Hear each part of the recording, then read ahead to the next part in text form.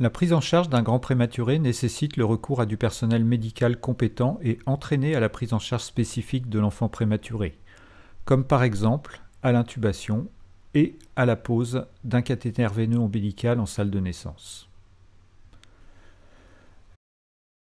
La température de la pièce est réglée à 26-27 degrés Celsius. Le matériel est préparé comme pour une naissance habituelle, mais il faut y adjoindre des mesures spécifiques. Le nécessaire pour permettre une intubation trachéale est à disposition.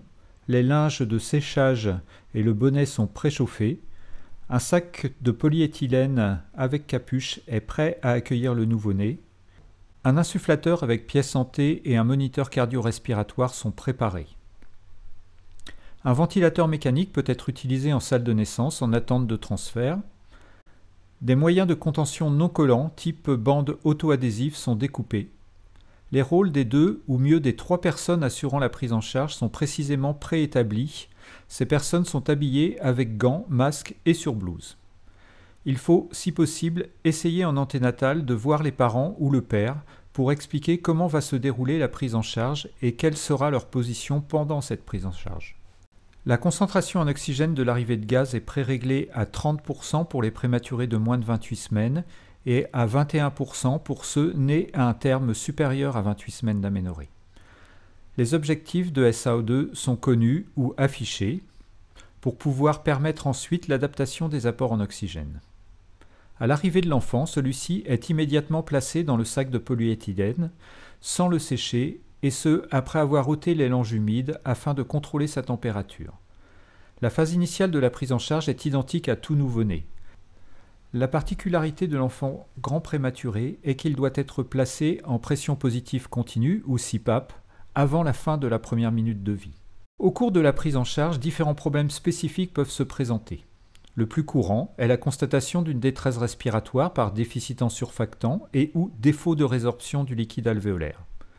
La prise en charge respiratoire peut être difficile, nécessitant quelques insufflations initiales et si besoin, recours à un support ventilatoire en pression positive. Les moyens sont soit la mise en place d'un soutien ventilatoire par CPAP, soit si cela ne suffit pas pour permettre une bonne adaptation à la vie extra-utérine ou que la détresse respiratoire est jugée importante, l'instillation intratrachéale de surfactants, associée ou non à une ventilation en pression positive. Plus qu'ailleurs, il faudra également veiller à éviter différentes surmorbidités. Il faut surveiller la température de façon rapprochée. Il faut éviter la surdistension pulmonaire et l'utilisation de pressions d'insufflation excessive, source de barreaux et volotraumatisme, prédisposant à la survenue de dysplasie bronchopulmonaire. Il faut éviter l'hyperoxie qui est source de stress oxydatif avec des complications cérébrales, rétiniennes et respiratoires. Ceci se fait en utilisant rapidement un oxymètre de pouls et en respectant les cibles de saturation. Il faut éviter les contentions du fait de la fragilité capillaire. Il faut éviter les actions trop brutales en manipulant le nouveau-né précautionneusement.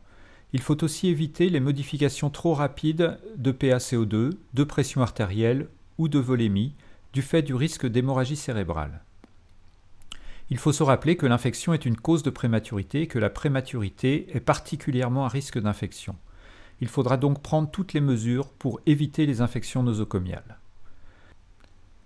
Il faut vérifier la glycémie capillaire une fois la prise en charge initiale terminée, notamment avant d'effectuer le transfert.